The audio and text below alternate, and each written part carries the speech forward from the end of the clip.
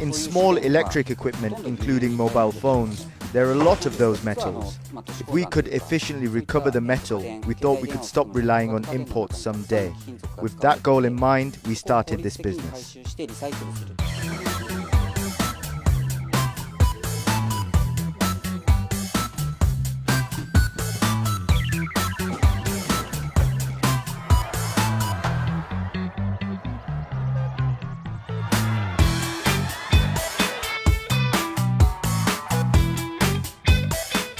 We want to make the medals using materials recovered by many citizens, but we are also looking beyond that.